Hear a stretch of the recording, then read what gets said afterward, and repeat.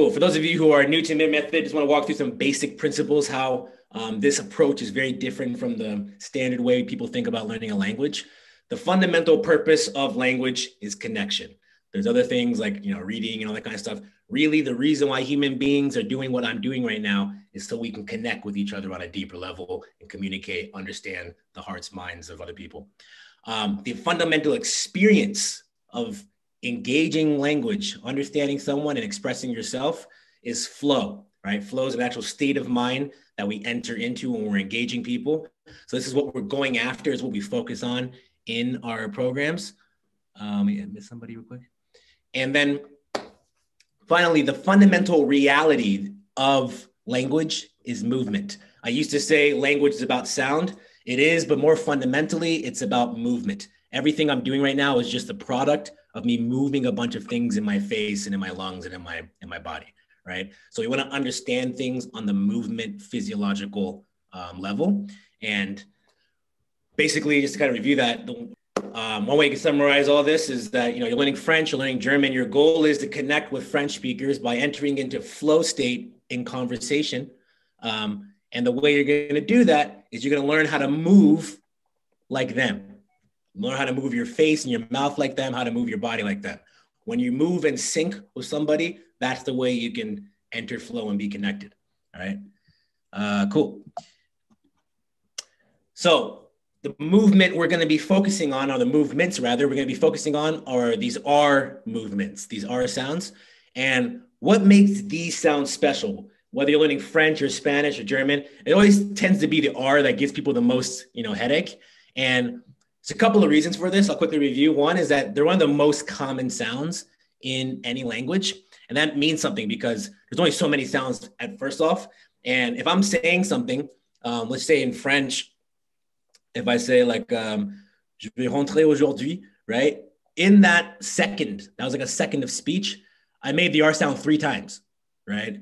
So that's three times in a second, which means if I'm not able to pronounce it properly, um, so I'm distorting it with an accent, or if it gets stuck in my mouth, that's three times in a second. I'm already getting stuck, right?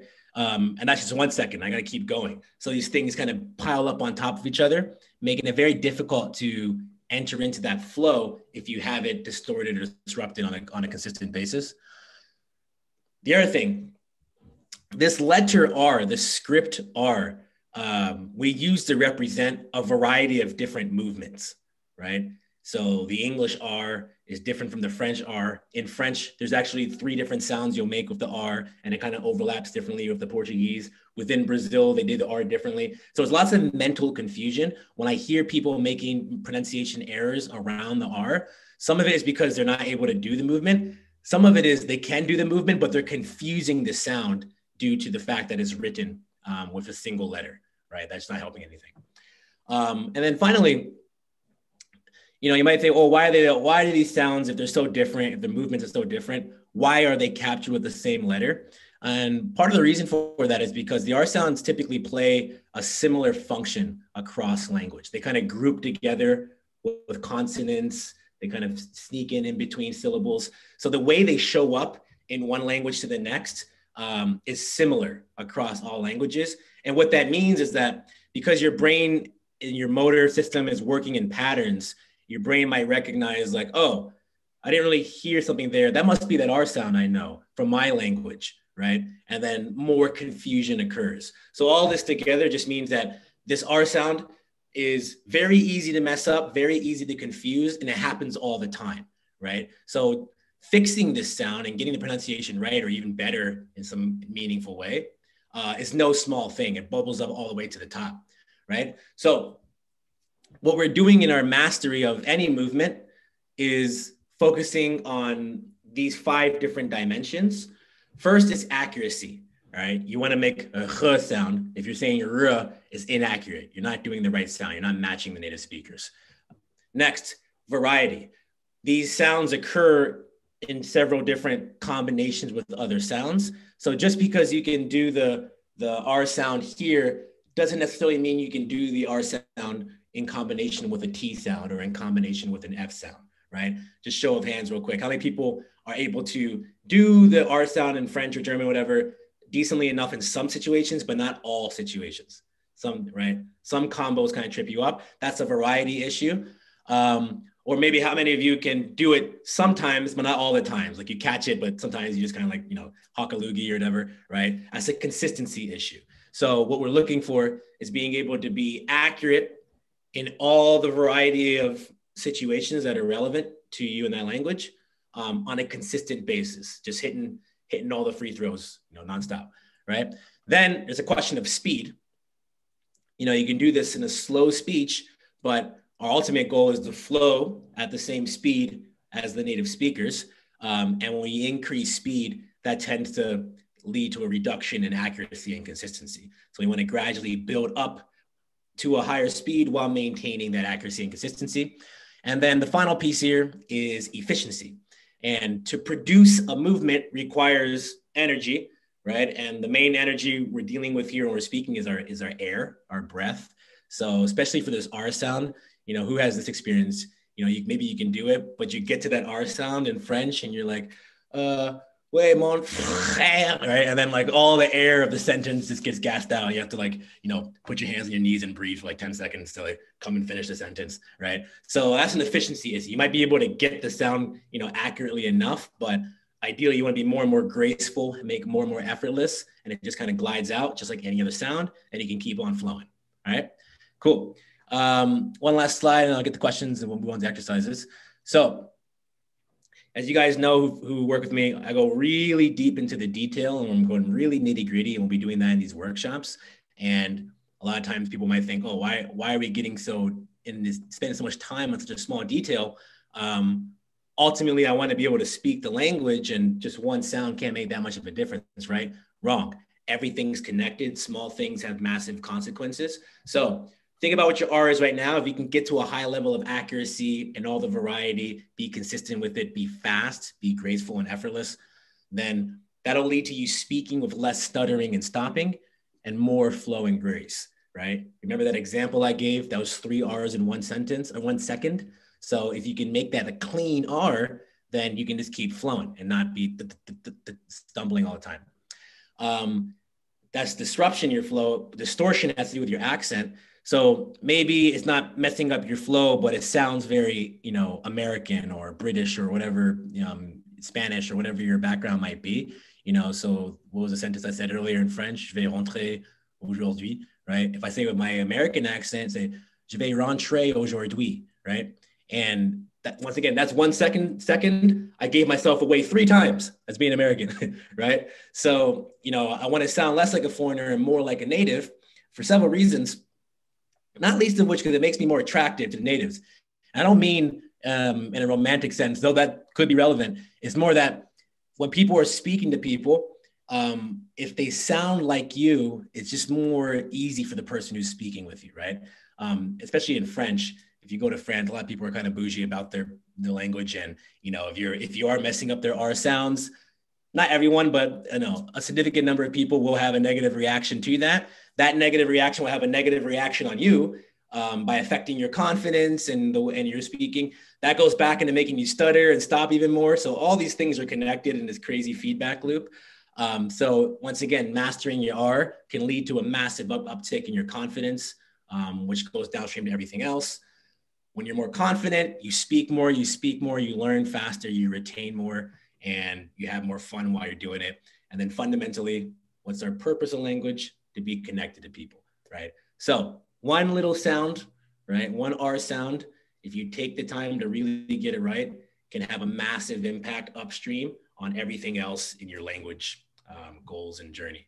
Okay. The first thing we're going to do, the exercise, is to gain an awareness, of a physical, mental awareness of our mouth and what's actually at play here when we're speaking this sound.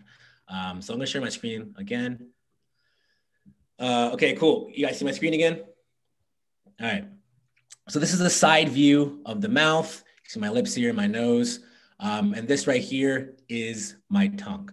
Now, this is all well and good to look at. I want you guys to actually feel this inside of your inside of your head, inside of your body. So we're gonna do a kind of a, a type of mindfulness activity. Uh, so follow along with me back home. I want you to uh, make the D sound, duh, duh, duh. Okay, with the D sound, what we are doing is taking the tip of our tongue, which is point number one on this graph, and putting it to the gum line just above our teeth, known as the alveolar ridge. Uh, sneak peek, this is where we make our Spanish sounds. But for now, duh, duh, duh is fine. Okay.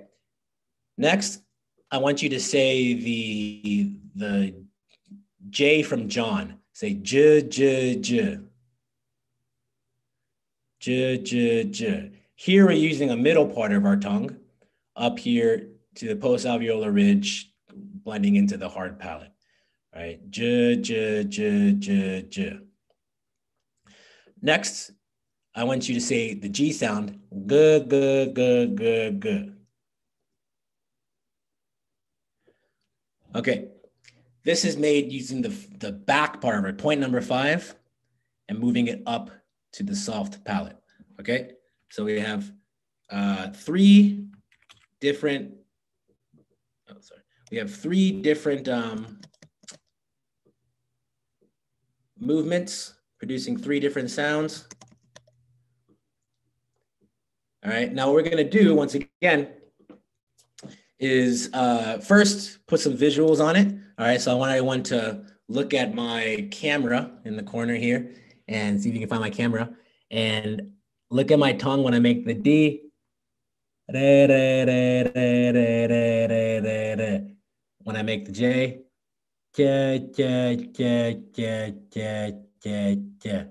and when I make the G.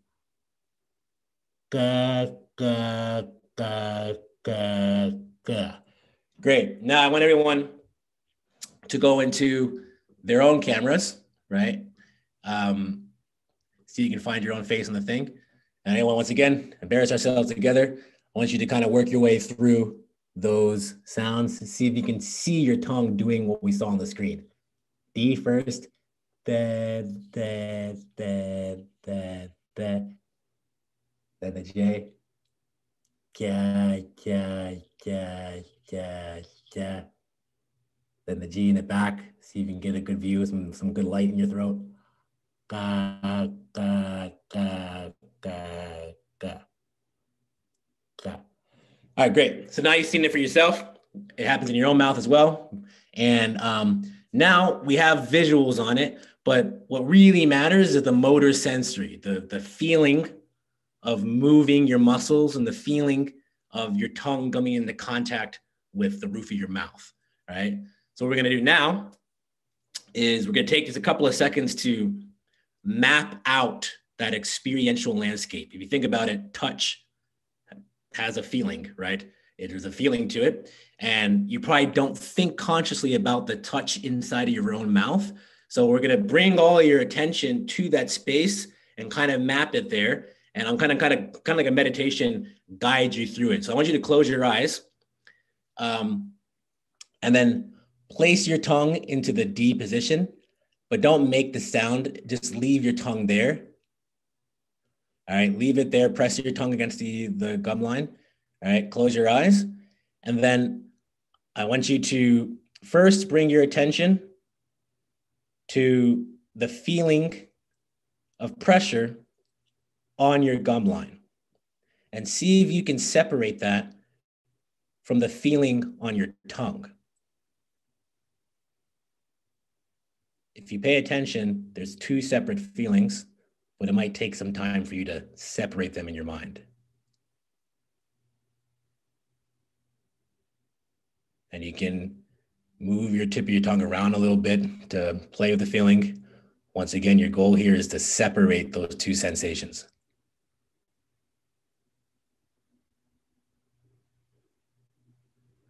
All right, now I want you to apply more pressure and then release the pressure uh, and keep doing that.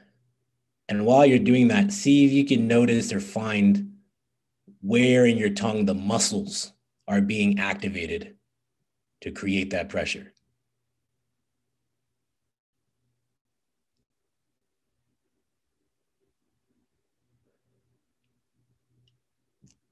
right? Might notice it deeper in your tongue, tension, as you press harder and then release it. All right, good. Now we're gonna move to the J. Same thing, place your J position. Don't make the sound, just place that part of your tongue to it as if you're going to make it. And then see if you can distinguish between the feeling in the roof of your mouth and the feeling in the middle of your tongue.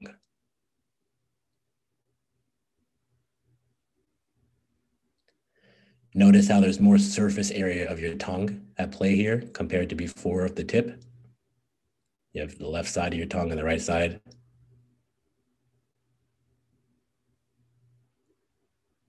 See if you can separate those two different feelings of sensation, one from the roof of the mouth, one from the tongue.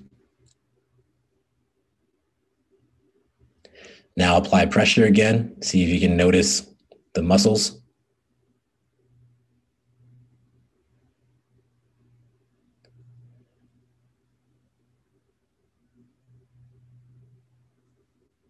Okay, great. Now finally moving on to the G. Say g, g, g, g, and then place your tongue in the G, but don't release it. Same thing. Try to separate the feeling of the back of your tongue from the back of your of your mouth, right from the roof of your mouth.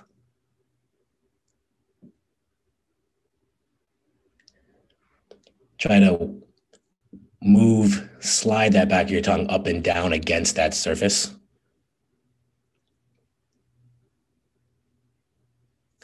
Slide it up and see if you can notice the feeling going up. Slide it down, see if you can notice the feeling going down.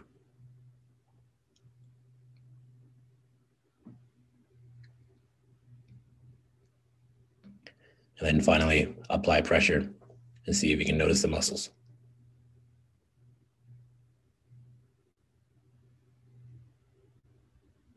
Cool. All right. That's good for now. Hope you enjoyed your first meditation with Idahosa. Uh, great. Does anyone want to share anything they interesting they've noticed while doing that? Maybe something surprised you you didn't know you discovered about your own tongue before. I just didn't realize how much of the tongue is used when we say the J sound. Mm, nice. Yeah, you notice there's more tongue, there's more surface area compared to the tip for the D's, right? Good, good observation. Anything else? Any other just observations, noticings? I never realized I had all those feelings. Yep. you know, could my tongue, yes, but not my palate. Yep.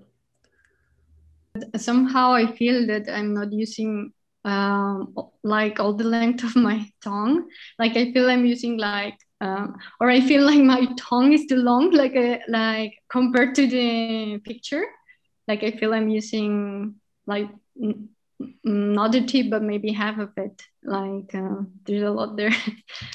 for what specific sound were you feeling that for? Mm. Can I say that again? What specific sound? Which one were you feeling that for? Uh, for the G. The G. So you're feeling what exactly?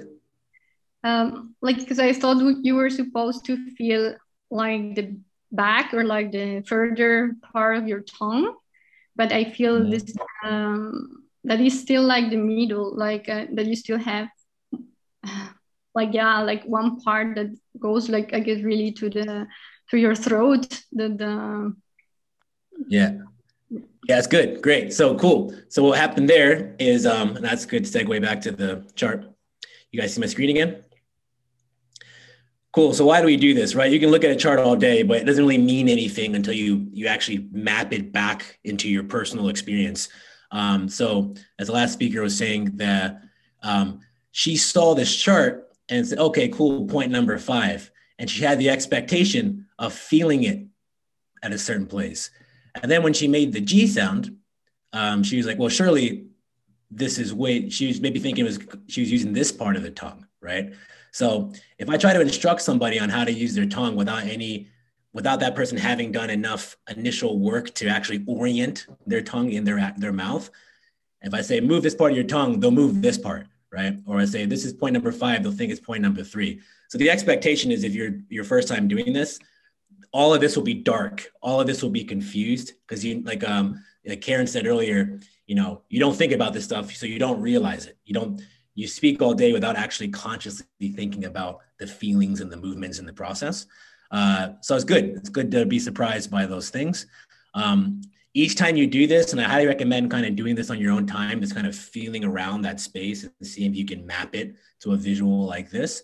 Each time you do this, you're shining a light on that part of your mouth so that when you're learning a new movement it's much simpler. And by way of comparison, if you're trying to learn the piano with me, you'd sit down next to me and you'd look at my fingers, and then you would try to mimic the movement of my fingers with your own hands, right?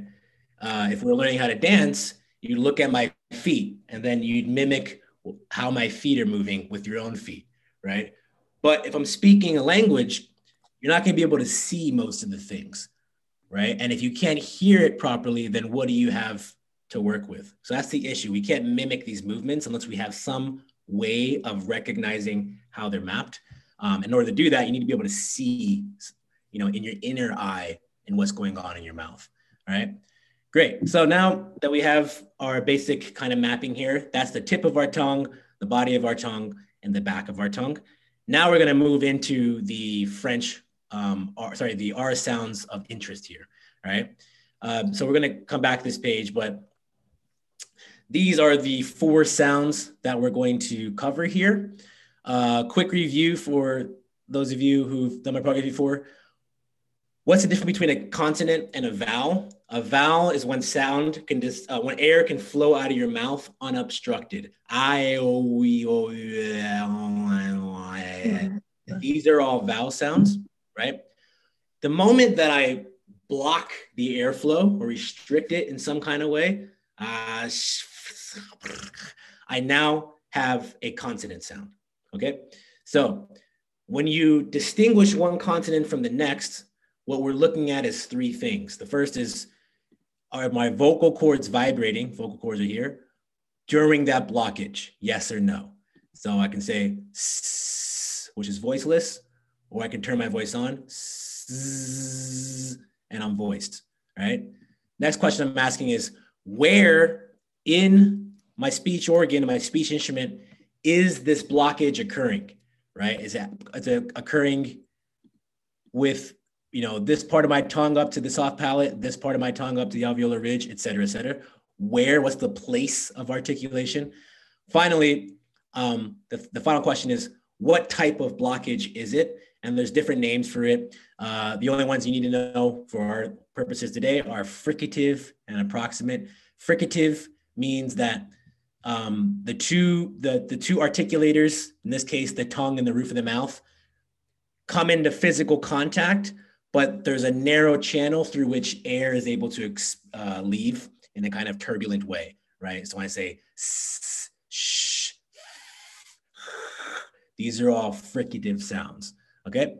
Um, and then an approximant is that the things get close, but they don't get close enough to mess up the airflow. So it sounds like, so uh, for example, the, the Y in the word you is an approximant. You I'm not fully constricting the airflow. I'm just kind of getting close. Uh, cool, great. So we're gonna walk through these each one by one, and then um, practice them in our in our groups. So the first one we're going to uh, try to get our hands around or get our mouth around is the voiceless velar fricative. If you're using IPA, you're going to be using this just the letter X to represent it, and this will show up um, in Brazilian Portuguese for certain R sounds, um, and it will show up in German, right? Uh, mostly for the CH sounds. Uh, so for those of you learning French, this does not show up in French. It does exist in Spanish and many other languages. However, for you French speakers, it's good to learn this one because it'll help us get to um, the French ones. So voiceless velar fricative, this sound occurs when we take the back of our tongue, which we just you know spent time meditating on, um, up to the soft palate. So when I say, for example, the, that we did the G sound earlier, everyone say, um, let me just mute everybody again real quick before which weird sounds. Um, all right, great. Everybody make the g g g g g sound. All right. Once again, notice how it's the back of your tongue. G g g g g. You can see on my screen as well what's going on. G g g g g g g. All right. Now that's a voiced sound. I'm gonna turn off my voice and I'll get this, which is a K. All right. So try that. All right, great. Now, that K sound is created by placing the back of the tongue against the soft palate, building up air behind it, and then releasing it in a burst. Instead of re fully releasing the tongue, what I'm gonna do is keep it pressed there and then force air through a channel. So it's like this. All right. So place your tongue in the K position. Instead of releasing it, force air through. All right.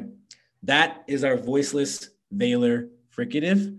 Um, so I'm going to go, what I'm going to do for these is when I introduce a sound, um, I'll bring somebody up who might be struggling with the sound and we'll see if we can troubleshoot it for her. So is anyone here not confident in their capacity to make that sound? And if so, unmute yourself and announce. Anybody? Anybody got it? Is anybody good on it? This this uh, K sound is further back on the palate from the the G sound is like more forward and the K is further back, right? Uh, so they're at the same place, and what and that's good. You'll it'll feel like when you first do this, these sounds would be in different places, but that's just the trick of the voicing. Gives it a slightly different feeling. So the k and the g, k, g are the exact same placing, um, as is the. So here, we'll try with you, Robert. Uh, let me hear your.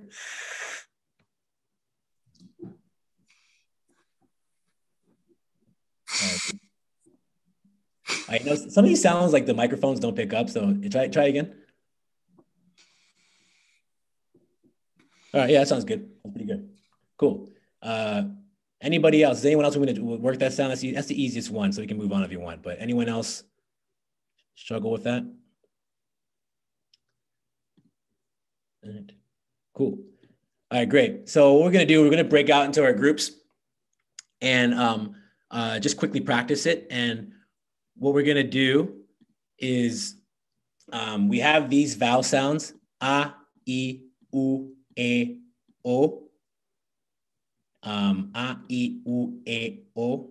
The five vowels. And we're gonna be doing uh, two different situations in a syllable. Either it comes before the vowel, which is ha, hi, hu, he, ho, or it comes after a vowel. Ach, ich, uch, ich, och. All right. So anybody try that again? Repeat after me. Ha, hi, hu, he, ho, ach, ich, uch, ich, och. All right, great. Uh, so I'm gonna break you guys out into small rooms and you're just gonna practice that and then just see if you can do each one. And if, if, if your partner sees that like, ah, that sounds a bit off, just try to workshop it a little bit and we can come back and see what, um, see what happened. All right. Okay, great. Any difficulties there? Once again, this is the easiest of the sounds. Uh, Emily, you're making a couple of faces there. Did you want to say something? Uh, no, I'm just, I'm not 100% sure I have the sound. Mm-hmm. Um, because I don't know, it's sounding to me like I, I speak a, a little bit of Spanish. It, it's sounding to me like I'm maybe more, mine's quite throaty. Is that right? It's like, or even like a Spanish J, I was thinking. So this is the Spanish J. This is ah, okay. ah, great. Yeah. So you want to just make the sound so we can hear it? Um, uh, with a vowel sound. Yeah, do the do the vowels just practice. Yeah. Um, I'm. Please correct me. It might not be correct. Ah, eh, ich, oh, ooh. Yep, it's good. Great. Good work. Uh, okay. Cool. Anyone else have any doubts? Questions?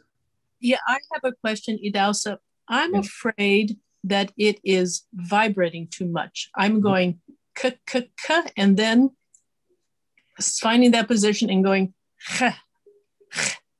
but you feel it feels like it's vibrating like a like yeah. when your tongue trills. Yeah. Is okay? Yeah. So we'll get to that. Uh, Emily had the same concern, and I'm okay. sure a lot of you guys had that same concern. So I'm gonna I'm gonna uh, reveal why that is to you in a moment. It'll help us transition to the next sound. Um, anyone else? Anyone else have a separate doubt or concern or practice? Kate. Uh, I noticed that when I um, make the sound, I feel like I just like you were talking about deflating like a balloon. Like all of my air just yeah. disappears. Mm-hmm. Um, yeah, I went, can, I, can, I, can I hear it? Ah, oh. Yeah. Yeah, that's good. So um, you remember that pentagon I had earlier, the efficiency one, and we we first focus on actually getting the sound, getting it accurate, and getting it consistent, um, and then efficiency comes later, and we'll talk about that at the end. Drills to practice your efficiency. Um, but actually, before I forget, I'm going to say it right now. The way you would practice any um, situation like that is called a sostenuto drill, is a musical term for sustaining the thing. Um, so what you would do is, we can all try this right now. Um, let's mute everybody again. We, we, you take a deep breath through your nose and then see if you can just hold it for as long as you can.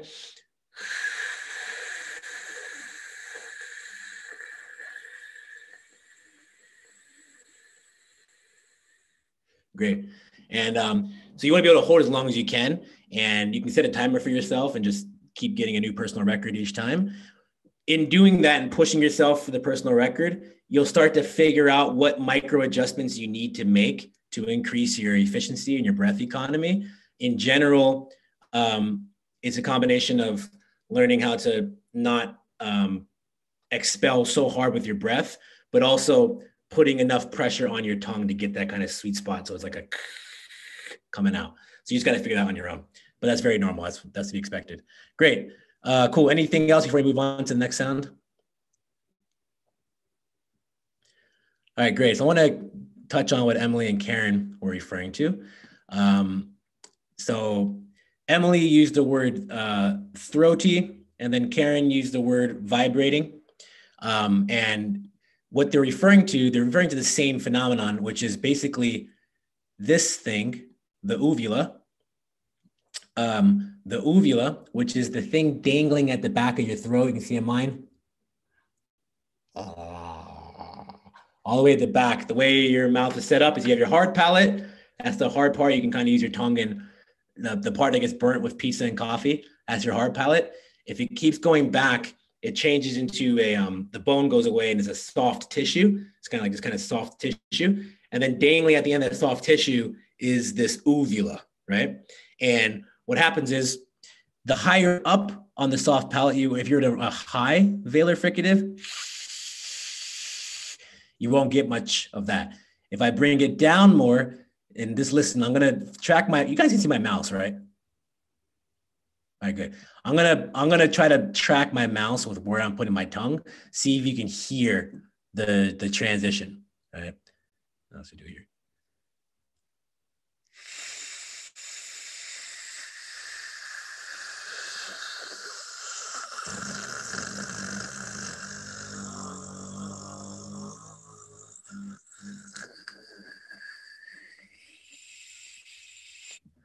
Could you guys hear that?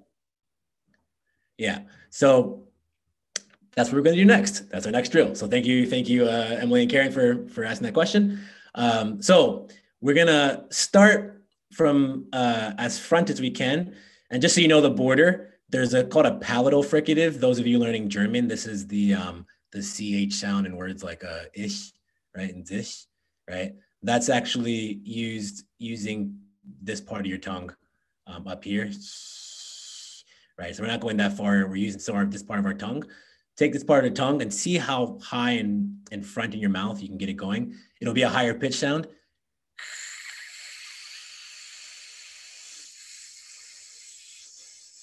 Right. Um, and then I want you to kind of map out this area. Just kind of put your tongue go up and down in this area.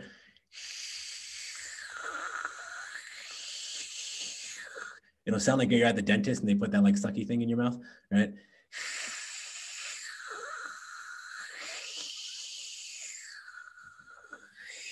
Keep doing that. What we're doing here is we're developing that fine motor coordination as well as that fine motor sensory awareness. So once again, while you do that, see if you can notice the muscle feeling, notice the sensations on your tongue and your throat, on your roof of your mouth.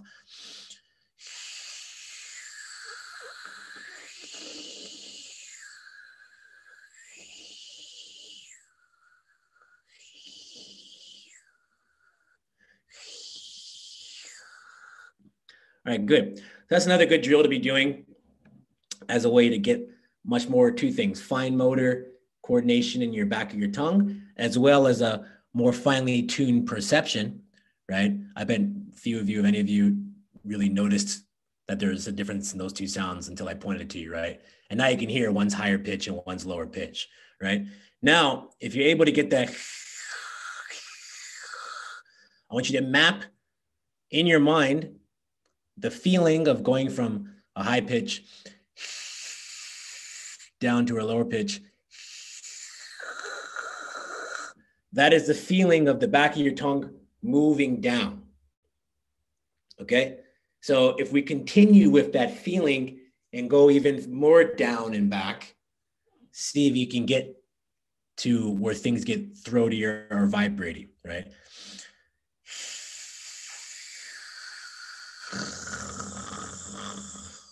Here you might, uh, to, um, we said earlier, you might lose your air economy. That's fine, just kind of reset. But see if you can start here and slowly walk your way down to the uvula.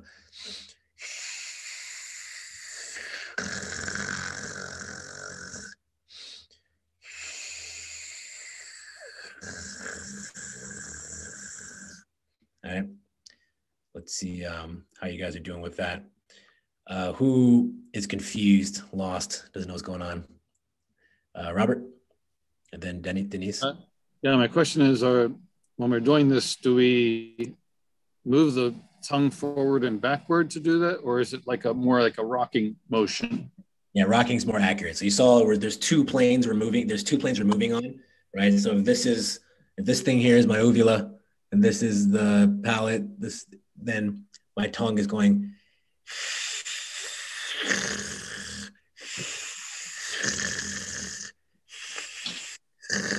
so it's going back and down, and you know the whole shape of the tongue will be shifting as well, right? Uh, Idahosa, I'm finding that I am getting that sound better. However, I'm aware that my tongue is also wide, and I feel like the edges of my tongue might be vibrating. Like there's something happening at the edge of my tongue and then something happening in the part where my tongue rounds up like the thickness.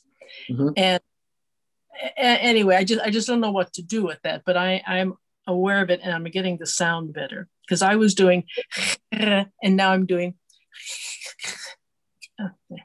yeah exactly. Um, let me get a good photo of the uvula here. You know so once again we're looking at a um, we're looking at a three dimension. We're looking at two dimensional image when we're looking at this thing, but we're not two dimensional creatures. You know, we're three dimensions. Our tongue is three dimensions. So right. um, a non-diseased one here. Uh, cool. And um, so you can see this this our this whole space here is going to be coming into contact. Um, uh, but then once again, the thing that's actually vibrating here is just this. So when you, that vibrating feeling is only this. Your tongue's not doing any vibrating. Your tongue is just a is just a foundation for the other thing to vibrate on top of. All right. Um, so yeah, keep playing with that. Uh, Denise, you had a question? Uh, you're on mute. Yeah, I just don't think I'm doing it right. Um, cool. so let's, let's, let's, coach you through it, and then everyone else, if you're on mute, and you can follow along with the coaching. Uh, so let's see what you got.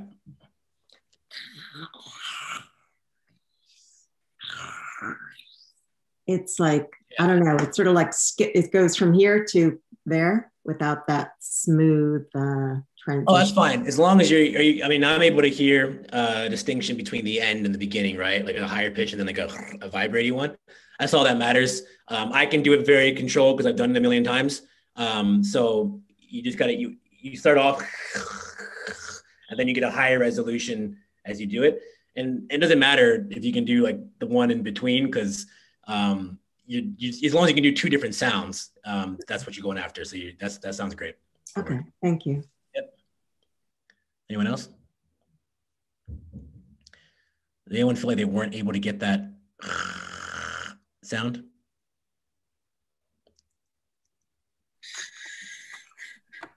I was able to get it, but I felt like it was making my throat sore. And I don't know if that means that I'm just overdoing it or like I felt myself almost going so far back that I would begin to gag a little bit. And I'm wondering when in sort of that more intense version, are you supposed to go that far or like how do you sort of navigate navigate that? Yeah, so it's, it's basically the same as as what you're asking before about the economy thing, right? So you first find it, uh, and then especially for this R1 because there's um, you know, there's more space.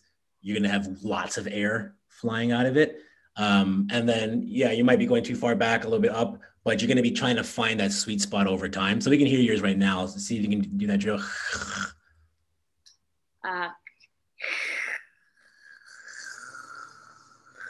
yeah, that's good. And keep in mind too that when you're speaking French, you're not going to be like, you're not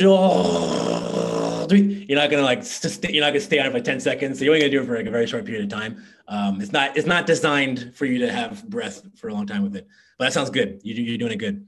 Okay. Uh, Danny. It, it, it always reminds me of kind of like the ch sound when when we say a word like Hanukkah. Yeah, in the Hebrew, it's also the um, it also shows up in Hebrew. It's the same sound that we're, yeah, we're going, well. Okay. Yep.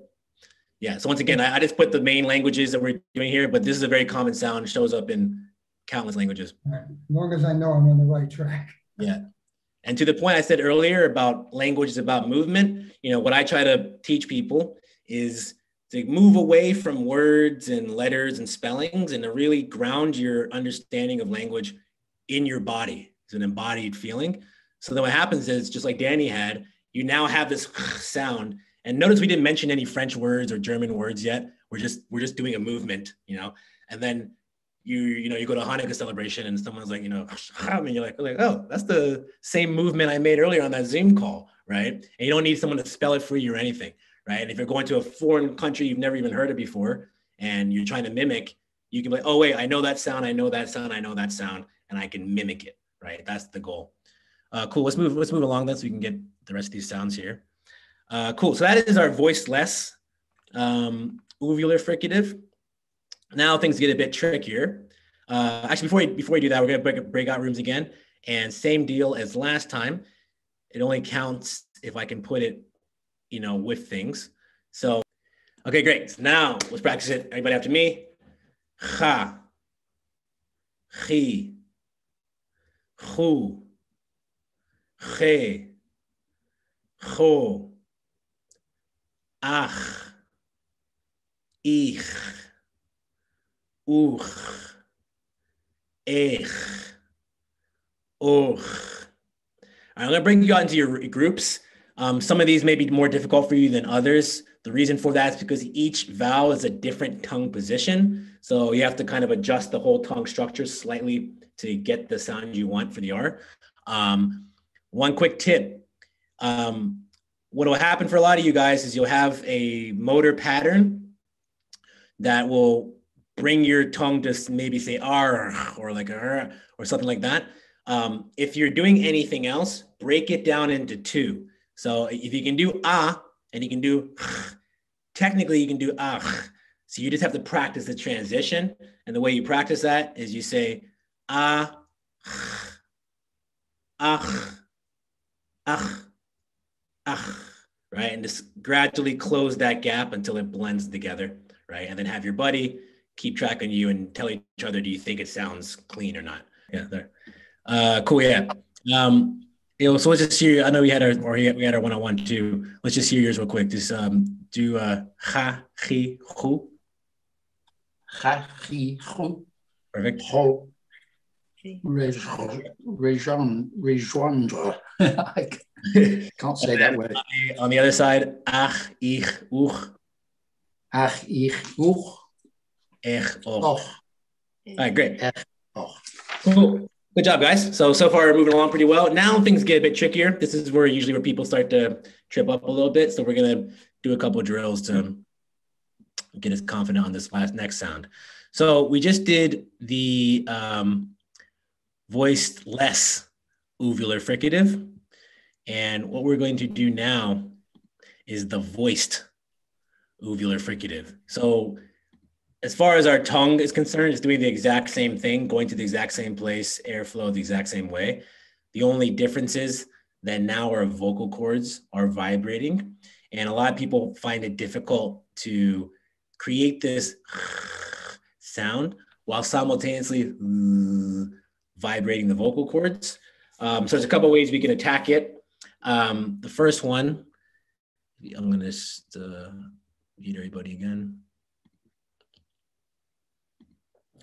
Okay, the first one is to um, come at it from the G sound. Okay, so we had our velar here. If we had a k k k as our K, we also have our g g g as our G. So everybody say g g g, right? And then just like before, we're gonna try to like kind of like a frog hop our way down and back with this g. So we'll go G g g g g g g g g. All right, you get that weird sound at the end. That's your tongue coming into uvular contact. G g g g g g g g g g g g g. Do it one more time.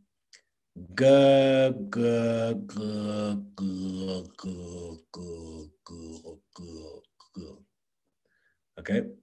Um, so that's a tricky sound for a lot of people. Who who's struggling with that sound? Uh, Nick, wait for you try, and then Robert. Uh, you're on mute, Nick.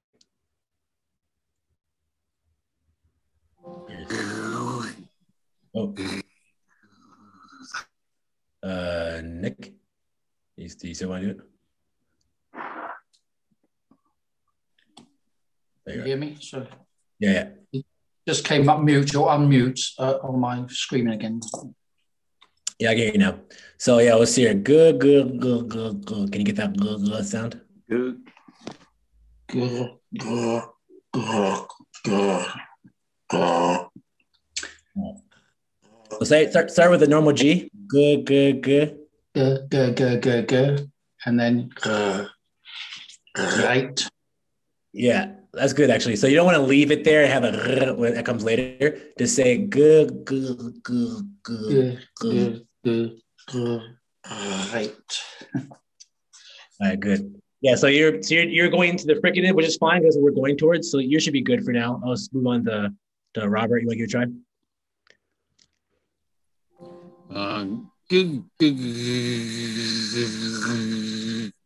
Yeah, actually, you're doing the approximant as well.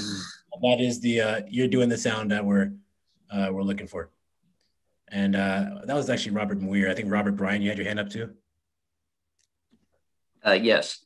Good, good, good, good, good, good, good, good.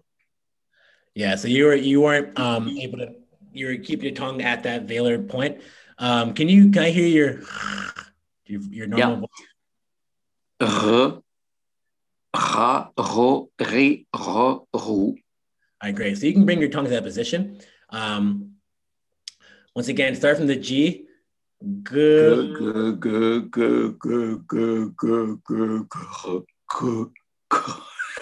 yeah, that's good. So that's good. So I started you guys with the more the more challenging one, which is to get to this um to get to this uh which is difficult. Uh, but really, just so I can you can practice moving your tongue down while keeping your voice on. Um, now that we've uh, now that we've tried that out a little bit, um, we're gonna do it again. But this time instead of doing this kind of frog jumping um, G sound, we're going to try to get this sound here is called a velar, a voiced velar fricative. Um, good, good, g. In that same G position, we're gonna hold our tongue there and let air pass through. So it's G, g, g,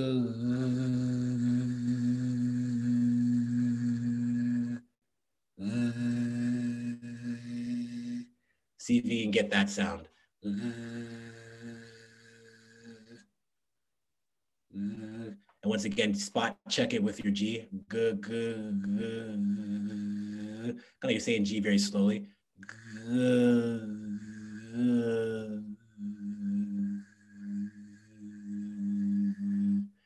That's the velar fricative. All right, we want to hear a couple of people's. I'm gonna call some people and see who we haven't heard from yet. Um, how about um, uh, Neri? No. You want to give it a try? Perfect. You got a good one. Um, who else? Jason, you want to try it?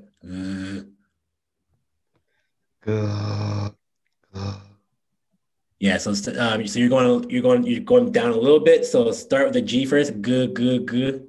Good, good, good. Then good, good, good, good, good, good, good. Nice, cool. And then so that's good. So why are we doing this drill right here? What our goal is here is to be able to keep our um, keep our voice activated while we have the back of our tongue up in a fricative position. Now we're gonna do what we did earlier, same thing as we had before. It was the that same path, but now we're doing it with a and slowly moving our tongue down until it gets throaty and vibrating.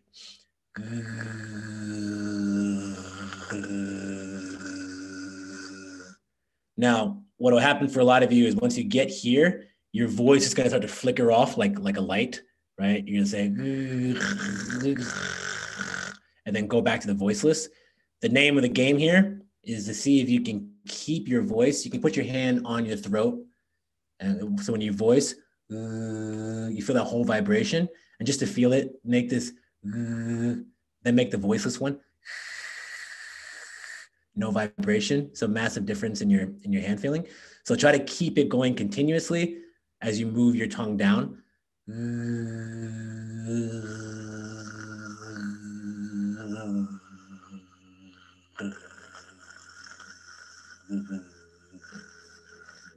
All right. Keep trying that for a bit. I'll demo one more time.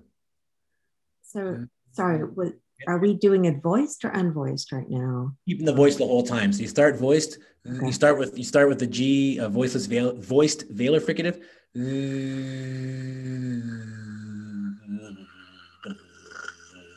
And the goal is to keep it voiced. As you move down, you might want to twitch, switch off your voice. Try to stop that from happening. Okay, thank you. Yep. Cool. Keep playing that for a little bit. And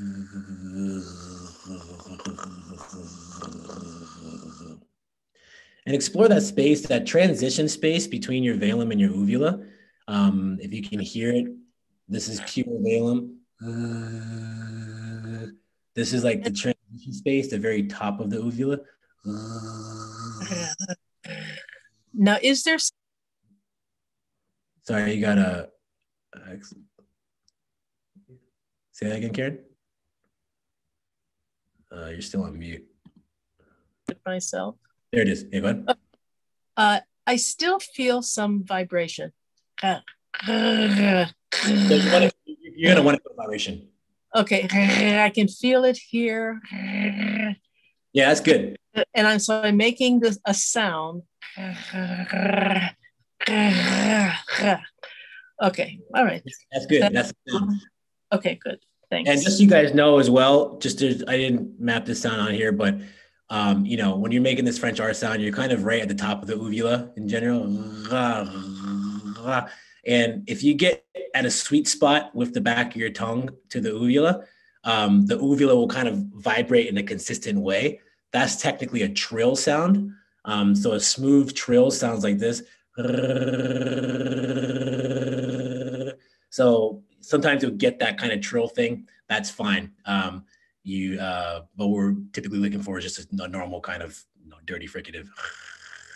All right, cool. So it looks like a lot of you guys are getting that. Um, does anyone want help with that voiced one before you combine it with vowels. All right. Uh, in that case, I'm gonna break you out into rooms again and same routine. We're just now going to, this might be a bit trickier once again to combine it with um, vowels. So everyone repeat after me on mute. Um, ra, ri, ru, re, ro, ar, ir, ur, er, or. All right. So break out into your rooms, try it. And once again, if you're, these are different tongue positions. So if you start to do a weird thing like make an English R, like R, right? Point to your partner to cut that out and split it into two. Ah, ugh, ah, ugh, ah, ah, ah, ah, ah, ah. Right? If you can do two sounds individually and you can't do them together, that just means you have a transition problem. And that's very easy to solve if you take the time to solve it properly by separating it and slowly reducing the gap. All right, uh, great. So I'll break you out into rooms for two minutes.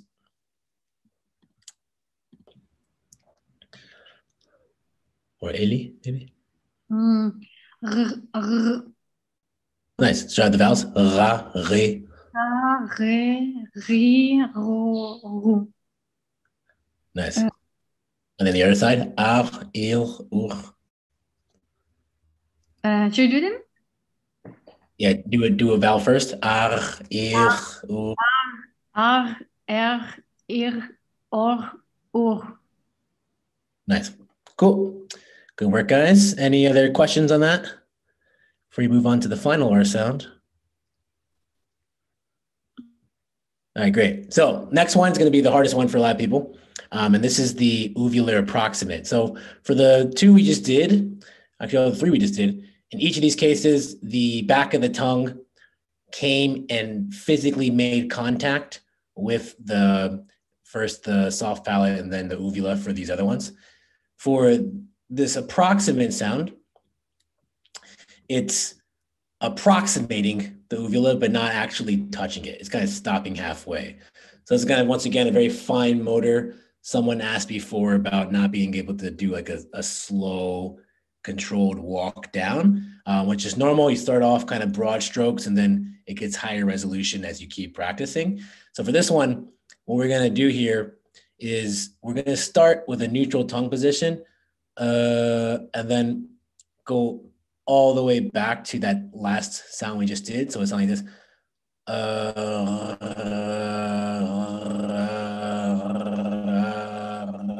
all right, so practice that a few times. Now we're gonna do it very slow.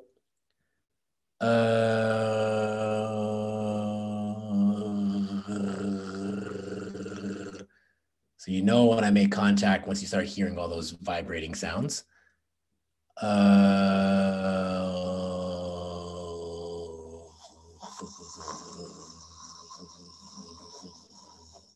Right?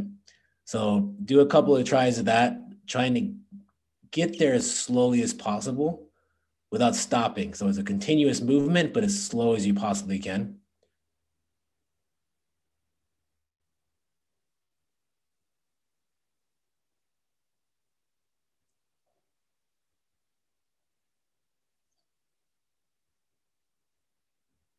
Okay. And the next thing you'll do, and by the way, I'm just kind of introducing these exercises to you. You'll, you'll want more time to fool around this on your own. Um, once you're able to move it back a bit slower with more control, now see if you can, while you're doing it, hear three distinct categories of sound. The neutral relaxed position, uh, and then halfway there, uh, as distinct from when I make contact. And then see if you can move through those three points. Uh,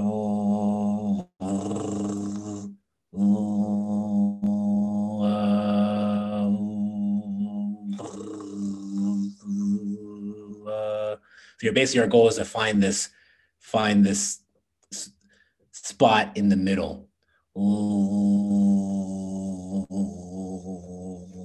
Where I'm not making any contact or making any turbulent airflow. That is our approximant sound. And once you're able to do that, the next thing will be a bit trickier is see if you can move between just the neutral vowel in that position back and forth without touching the uvula at all. Uh,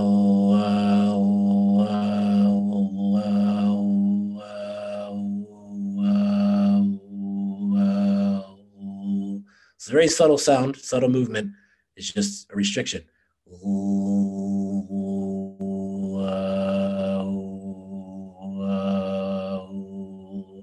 Okay, so if you're able to manage that sound, you'll have your voiced uvular approximant.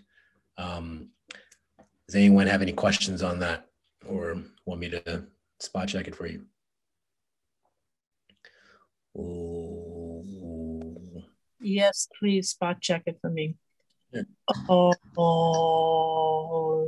oh, oh, yes. Oh, I thought it alternate between um, the vowel uh, uh, uh, oh, oh, oh, oh, I gotta go back further, yeah. So once you start getting that vibration, that means you've gone too far. Uh, right? but start, start with a Uh-huh. clean, uh, just relaxed uh, like nothing's uh, do that. Uh-huh. Uh,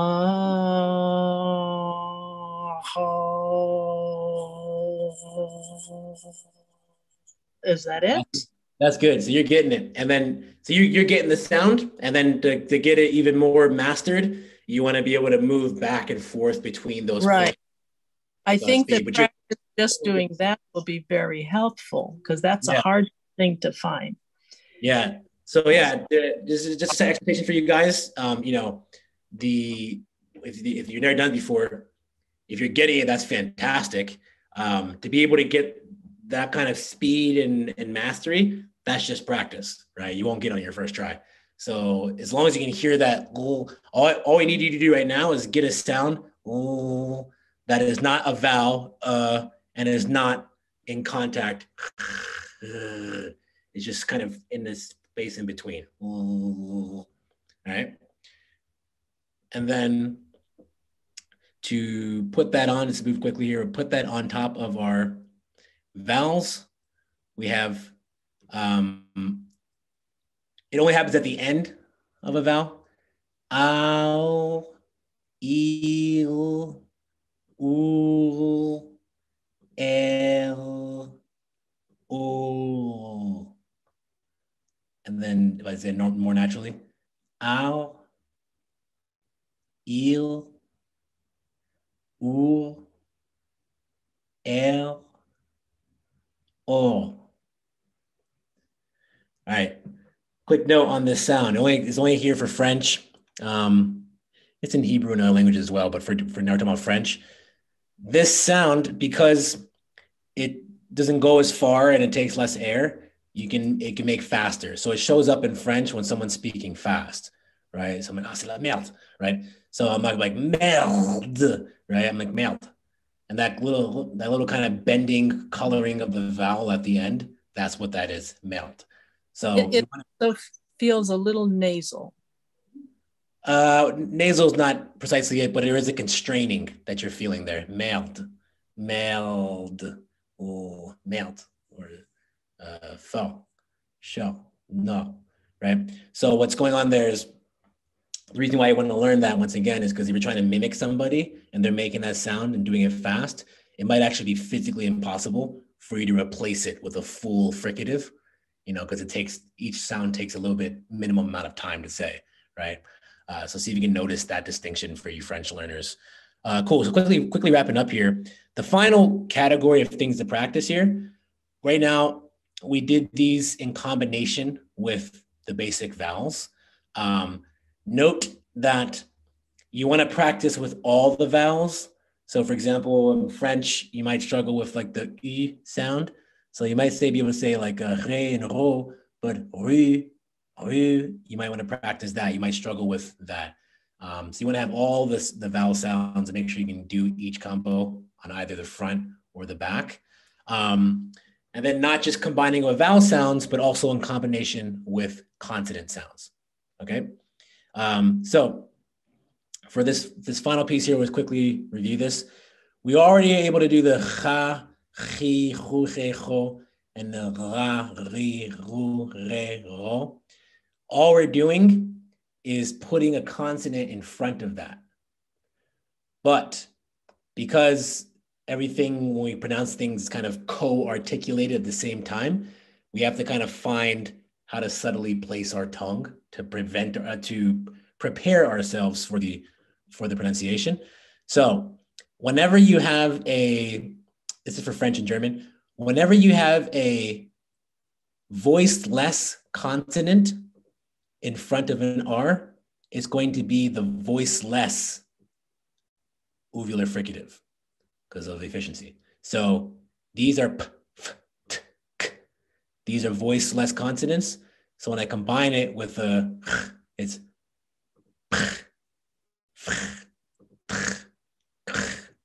right? Pra, fra, pra, kra, pri, fri, tri, kri, right? So this is the combo. So how do you practice the combo if you're struggling with it? Once again, you have to first make sure you can do the sound on its own. Now let's visualize what's happening in our mouth, starting with the P. Our tongue is going to be here for the uvula. Meanwhile, our lips are coming together for the P. So air comes behind the lips. And then as soon as we release the lips, our back of our tongues going to the thing. So you want to practice this.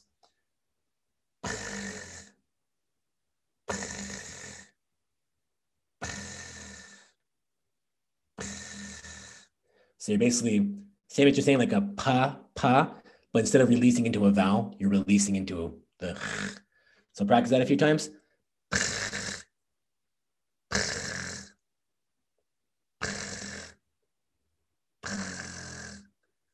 All right, cool. That one's the easier one. Next one is the F. The F is being made with the lip to the teeth and it's a continuous airflow all the way through.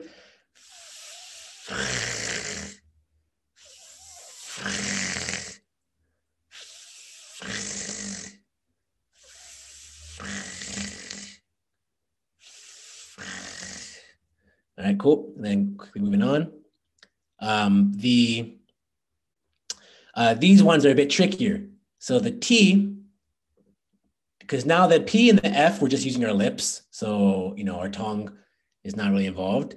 But for, for these, you're using our tongue, um, which means the front of our tongue is doing one thing. Basically, we're putting the, the point number two, the blade of our tongue against the alveolar ridge. And then the back of our tongue is doing something else. So it's a bit of a, of a maneuver, right?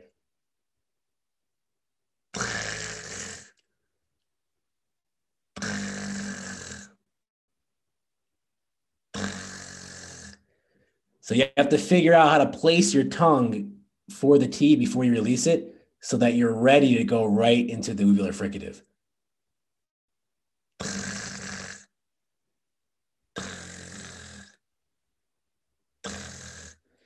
Right. And then the final one, this is the hardest one, is actually using the same part of the tongue, right? So we start with our K, and then that that the tongue is releasing back to the uvula as we practiced earlier. And if you actually look in my mouth, you can see it happening. So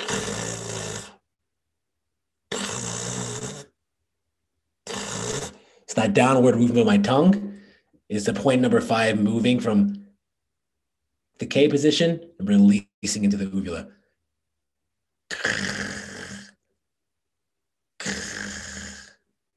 All right. That is our voiceless. I'm going to um, be on for another 10 minutes, so feel free to leave if your time is up. But I want to quickly go over the, the next one, which is harder. Same thing. The B is just the voiced version of the P, V of the F, et cetera, et cetera. These are the voice versions. So we're doing the exact same physical movements here, but now we're using our voice at the same time, which makes it that much more complicated. So if you can, you have to first make sure you can already do the voiced la, li, lu, le, lo, l,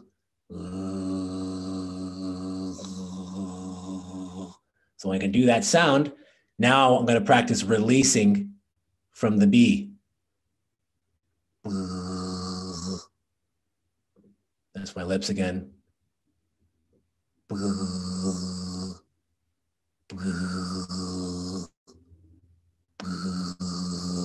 Then for the V.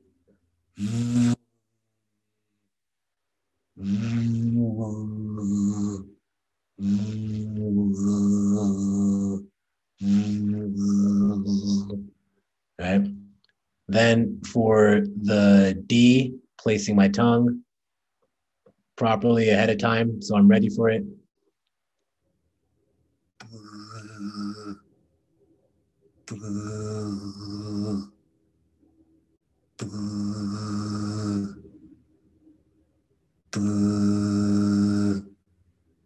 And then finally, the G, the hardest one, using the back of my tongue.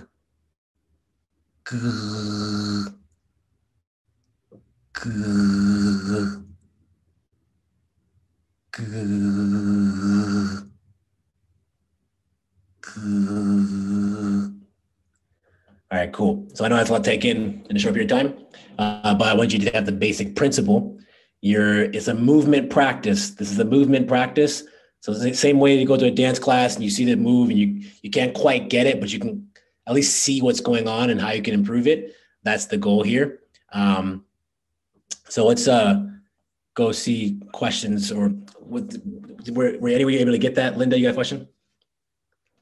Yes, I generally have trouble hearing whether R is voiced or not when it's in, the middle of a word. And uh, other than what you just said about the voice and voices consonants, let's say if R comes after a vowel, but it's in the middle of a word, it seems that it's usually voice, but I'm just completely unsure. Like, uh, yeah, it's a couple answers to that question. Um, first, um, I don't recommend um, having any kind of rules in the head for any particular language, like, oh, when it's here, it's going to be this. Um, those things will intuitively start to appear to you. Um, second, your your your goal is to be able to match, right? So if you hear, is it a or is it a right?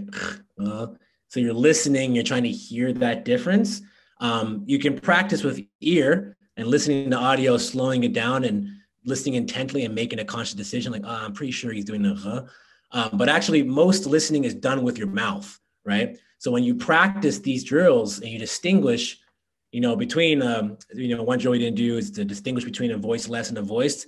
I can, I can just alternate between the two like this.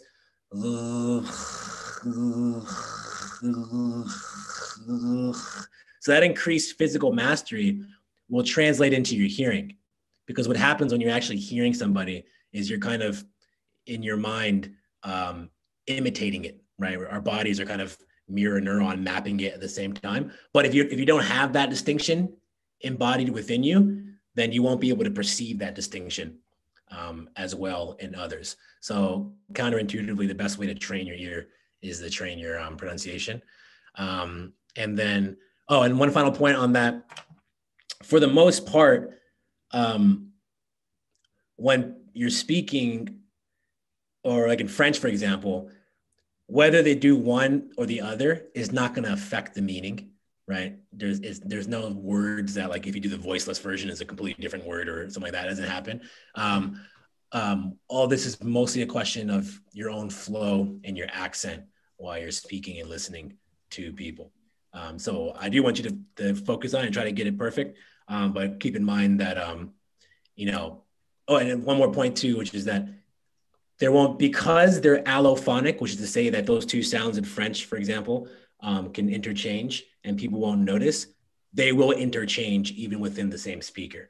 So you might be like, oh yeah, this word's always the, and then you hear it's a different thing in, you know, like a five minutes later.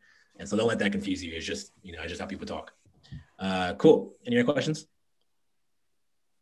Uh, could you give us some examples, like using these different R's in some words in German or French? Yeah, yeah, we'll do that now. So I got a little chart here, and I'll give more words than I have.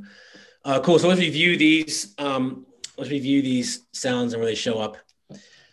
Um, so in French, no velar fricative sound going on at all. Um, and you don't really hear of at the beginning of a vowel either. Um, at the end, just like I was saying to Linda, you, I can say for, or I can say for, or I can say for, right? This is all depending on you know what's going on in the rest of the sentence. Um, and then in the beginning of a vowel of a syllable, I'm typically doing the voice.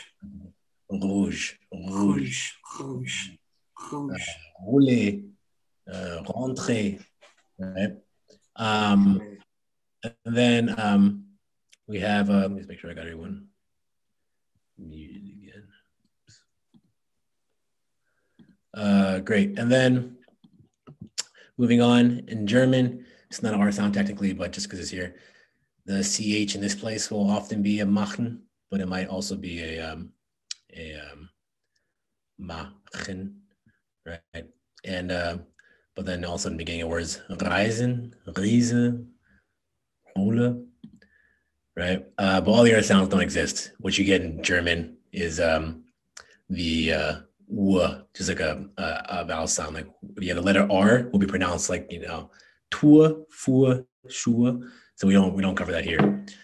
Uh, great. Then Brazilian Portuguese and is quite uh, unique. Well, not unique, but it's um, with the R sound. Different parts of Brazil will pronounce the R's differently depending on the word and situation. Um, this is looking at like the Rio one, and um, pretty much all parts of Brazil. When R is the beginning of something, it'll be the velar fricative. Rua, rua, roda, um, happy, um, Ricardo, right? Um, and then also at the end of a vowel, por, favor, ach, ich, uhiu, right? That's that sound. Compare that to Portuguese, where you never have the velar fricative, is always a voiceless. So they don't say hiu, they'll say riu. They don't say hua, they say hua. Right. So those two. And then the rest of their R's are going to be this, this the ones for tomorrow's lecture uh, with the tip of the tongue. Right. Um, Cool. I recommend to. Um, I'll send these slides and recording out. I recommend to you make your own spreadsheet or your own, you know, handwritten thing of these categories as well as these categories. I'll give you some words here too for like um, French. This is gonna be French and German. Um, pratiquer, um, Proust, uh, promet, promesse, um, prince, principal, fraternité, frère, frite, um, travail, trombe, anything else with tra? Uh, que, uh, incroyable, crée, crise. Um, and then for German, um, Brot, it's, it's, it's switching between like it's, it's really confusing. um, krass, uh, I'm blanking. Trotzdem, trotzdem. Um, but actually, while I was finishing my last thought, if you get a like, spreadsheet or a piece of paper and then put each of these columns, you know, if you do it per vowel to, you know, P, X, I, F, P, X, I, X, U, all the vowels and like whatever, and then just start putting words that you know underneath. This will do a couple of things for you. One, it will um, help organize these sounds and, and movements quicker and more deeply in your in your body and in your mind um, when you see it show up in all the different words that you know in your vocabulary um, secondly it'll also more deeply ingrain and organize your vocabulary in your head the way, um, which goes into your spoken fluencies, the way speaking actually works. Like right now, I'm not thinking about the next word I'm going to say; it's just flowing out of me. And the way that that kind of works, and the long short of it is, um, the word I'm saying now is connected to saying, right? Saying now is connected to all these other words in my semantic web in my head, right? So if I have as many connections as possible in between words, so not just connecting words by their meaning, but also connecting them by their uh, by their sound. You know, another thing is rhyming. If I get words that rhyme together, but basically just any kind of phonetic connection between things will increase the total density of your network of connections in your mind. And the more dense that network is, then the quicker your mind can find the word it's looking for. It's kind of like if you have a bunch of a word like a house and you have a bunch of houses scattered about like a, you know, a field, and then you just make a pathway between as many houses as you possibly can. You know, the more pathways you get, the faster you can get from one word, one house to the next, you know? So that's, that's, um, this, this kind of stuff actually helps your vocabulary as well. Um, so yeah, that is all I wanted to cover today. Actually, I had one last thing here, which is when you're practicing these things, right now we're just trying to try to get the movement and feel it out, right? So we can get our accuracy and and then see if we can get it. For training the other things, I highly encourage you to use um, a uh, metronome, especially for building up your speed. And what you do is quite simple. You just put on the beat, and let's just say you're practicing, you have a list of things here, and I'm just like, ha, chi, hu, he, ho, ach, ich, uch, ech, och, ra, right? Um, and then I'm like, okay, cool, let's push myself, see how fast I can do it.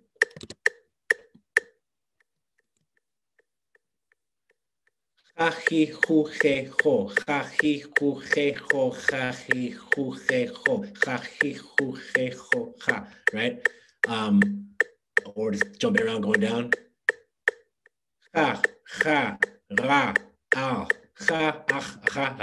Mind. That's that's too difficult for me. right. So, uh, but yeah, like what you're doing is you want to start at like a speed that's you know at your limit, get comfortable with it, and then increase it like another couple of BPM and then get comfortable with it and then increase it. And you'll be shocked at how quickly you can solve speed issues that people will spend years getting stuck on a sound. And then we'll do a training and I'm like, okay, cool, do this with a metronome and come back to me next week. And boom, they've solved like a three year problem in a couple of days. So don't underestimate the power of a metronome. And once again, what you're looking at here, first question, am I able to get the sound, distinguish it from all the others? Um, Am I able to do it in all the variety? We don't capture all the variety here. You want to get all the vowel sounds for your language, um, but this captures all the consonant combos you'd possibly do. Um, and then um, once you know you can do it accurately in all the situations, put on a metronome and try to do it. And maybe you're like, ha, ha, ha, ha, right? And like every three, you're kind of like messing it up or running out of air. Just keep doing it and see if I can do like 60 seconds with no mistakes. You know, just keep gradually building up. And boom, now you're getting all the sounds accurate in all the different contexts on a consistent basis. Now let's work on your speed and efficiency. Um, they play hand in hand. When you make it faster and faster and faster, it forces you to figure out how to be more efficient with your airflow. Um, and then you'll figure out how to do it more subtly, how to do it more nuanced.